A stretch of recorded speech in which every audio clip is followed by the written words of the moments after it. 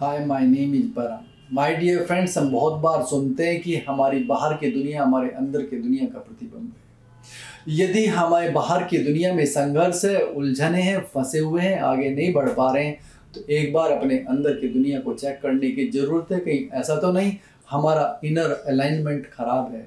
हमारे अंदर की लयबद्धता टूट चुकी है, इसीलिए हमारे जीवन में संघर्ष का एक बड़ा कारण हो सकता है। अलाइनमेंट को आप एग्ज़ाम्पल से भी समझ सकते हैं कि माना कि आप किसी गाड़ी में सफ़र कर रहे हैं, लेकिन उसके चारों टायर्स अलाइन नहीं है, वो अलग अलग दिशाओं में दौड़ने की कोशिश कर रहे हैं तो आपके जीवन में संघर्ष रहेगा, सफ़र में आपको देरी होगी। बहुत मुमकिन है कि आप मंजिल तक ना पहुँचे, बीच में खड़े हो जाएँगे। इसीलिए अपनी गाड़ी के टायर्स को अलाइन कराना ज़रूरी होता है। आप जो जीवन में पाना चाहते हैं, सोचने की ज़रूरत है कि उस पर चलने से पहले आप अपने अंदर में देख लीजिए कि आपके बिलीव्स और वैल्यूज़ उसके प्रति क्या है। दोनों का अलाइनमेंट नहीं होगा तो संघर्ष बना रहेगा। बहुत चीज़ें कॉन्शियसली आपके लिए ज़रूरी होती हैं, आप उन्हें पाना चाहते हैं, लेकिन बिलीव्स आपके नेगेटिव होते हैं। बिलीव्स कुछ और बोलते हैं वैल्यूज़ कुछ और बोलती हैं, सफलता मिलने वाली नहीं है। आप बहुत बड़ा बिज़नेस खड़ा करना चाहते हैं, लेकिन बिजनेसमैन के बारे में आपकी ओपिनियन क्या है, अपने गहरे में एक बार झाँक करके देखना। यदि आपको लगता है कि बिजनेसमैन धोखा देते हैं नंबर दो से पैसा कमाते हैं, लोगों का पागल बनाते हैं, इसका मतलब आपके बिलीफ्स बिजनेसमैन के लिए नेगेटिव हैं। उधर आप बिज़नेस चलाना चाहते हैं तो आपको सफलता नहीं मिलेगी। क्योंकि आपकी वैल्यूज़ में धोखा देना, पागल बनाना नहीं है। आपको वैल्यूज़ को बदलना होगा या बिलीव्स को बदलना होगा, दोनों में जब तक एक रूपता नहीं आएगी, आप किसी भी डिसीज़न तक नहीं पहुँचेंगे। आप अपने बिलीव्स को और वैल्यूज़ को एक बार चेक करें आप डॉक्टर बनना चाहते हैं, सफल होना चाहते हैं प्रोफेशन में आगे बढ़ना चाहते हैं, लेकिन आपके बिलीव्स डॉक्टर्स के लिए क्या है, एक बार अपने अंदर झाँक लेना।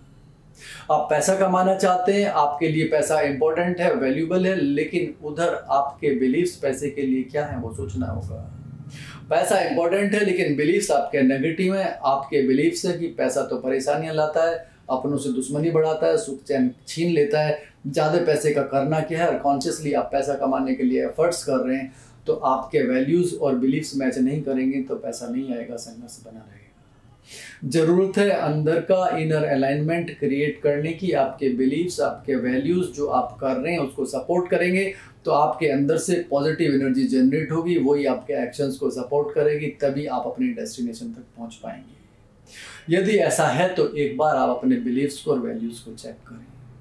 नंबर दो यदि आपके बिलीव्स और वैल्यूज़ के अंदर अलाइनमेंट बन जाता है, तब आप एक्शन लेते हैं, आगे चलते हैं तो जीवन में एक सवाल बीच बीच में उठता ही रहेगा। इस पर भी काम करने की ज़रूरत है, इसे भी आप इक्वली इम्पोर्टेंट समझें। आपके अंदर बार बार सवाल उठेगा, इसे आप क्यों करना चाहते हैं, आपका करने का पर्पज़ क्या है?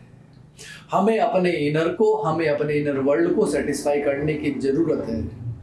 आप क्यों करना चाहते हैं? आपका पर्पज़ क्या है? जब तक इसके लिए आपके पास कोई स्ट्रॉन्ग आंसर नहीं होगा, कोई पॉजिटिव आंसर नहीं होगा, आप आगे नहीं बढ़ पाएँगे, आपका इनर वर्ल्ड आपको सपोर्ट नहीं करेगा।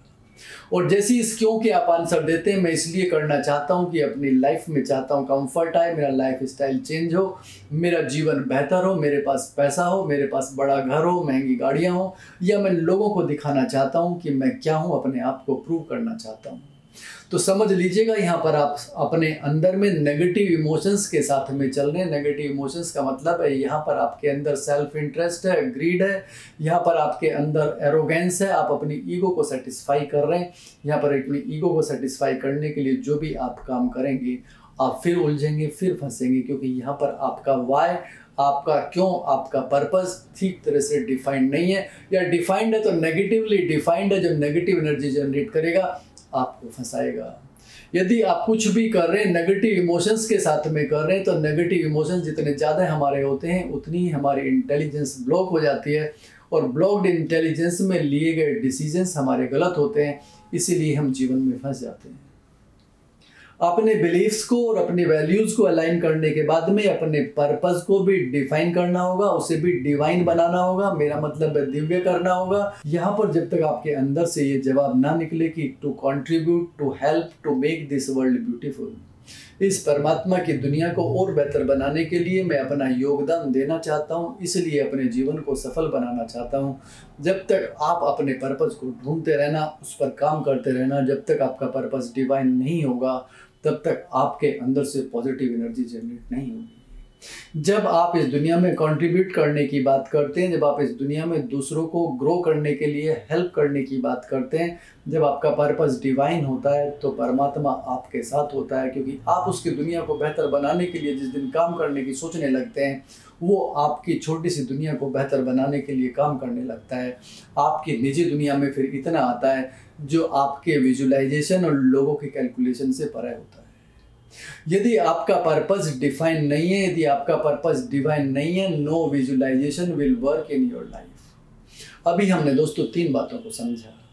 आउटसाइड वर्ल्ड में यदि फंस गए हैं तो सबसे पहले अपने अंदर चेक करें चेक करना कि हमारा बिलीफ क्या है जो हम कर रहे हैं।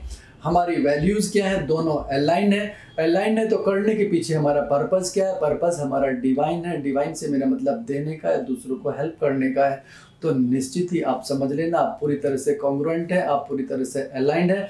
आप जीवन में रात दिन आगे बढ़ते हुए चले जाएँगे। प्रॉब्लम्स चैलेंजेस आएँगे, वो आपको सिखाएँगे, क्योंकि ताकि आप और मेच्योरिटी के साथ ऊपर उठ सकें और जीवन में आगे बढ़ सकें। आप यदि अपने आप में अलाइन होंगे तो आपके अंदर से अब यहाँ पर आपकी एक अलग आइडेंटिटी क्रिएट होगी।